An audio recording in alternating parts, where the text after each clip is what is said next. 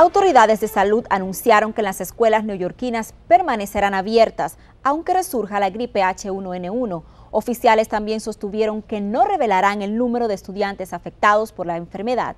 Ambas medidas marcan una diferencia a la forma en que la ciudad enfrentó la crisis a principios del año, cuando comenzó la epidemia.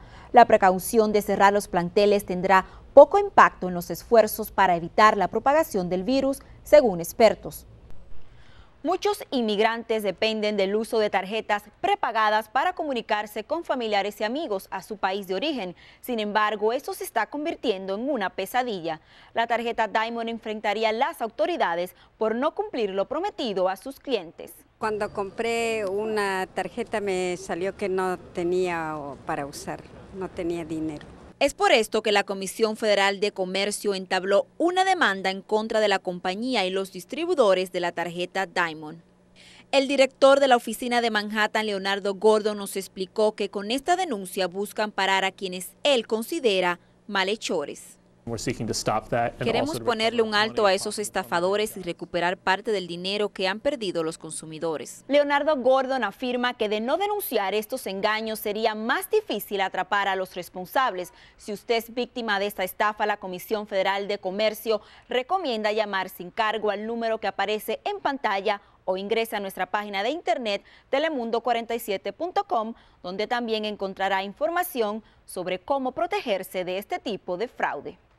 Sánchez, de origen cubano, salió de su vivienda alrededor de las 10 de la noche y se dirigía al Instituto Pratt, donde cursa estudios y está localizado a solo cuadras del apartamento.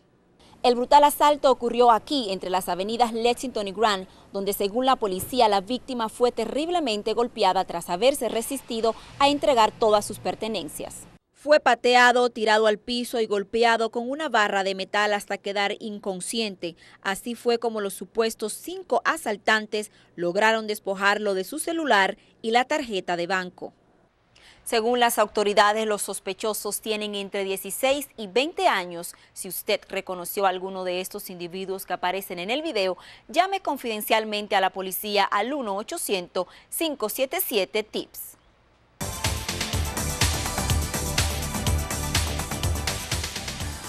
Bienvenidos a Cine, Música y más. La agrupación Calle 13 visitó nuestros estudios para hablar de su nuevo proyecto y no se trata de un álbum de canciones. Sin Mapa es el documental que residente y visitante estuvieron produciendo por dos años a través de un viaje por diferentes países de América del Sur y que finalmente promocionan.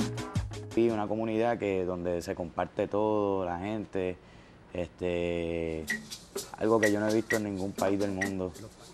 Era una, comunidad que se comparte todo, nada es de nadie, todo es de todos, no hay policías, no hay gobernadores, no hay nadie este, que, que sea el jefe supremo, hay un chamán.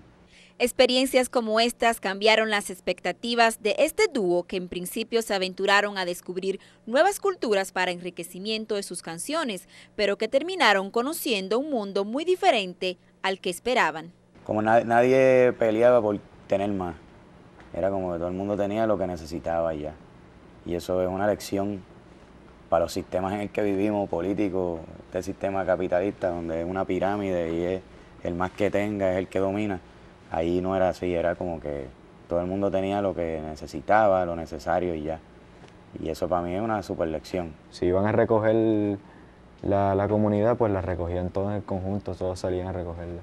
Si iban a trabajar lo, hacer las canoas, pues salían todos los hombres a hacer las canoas. Los integrantes de Calle 13 concluyeron que ahora que tienen un mejor entendimiento de lo que pasa a nivel global, podrán aportar más a su música, la cual definieron como artesanal.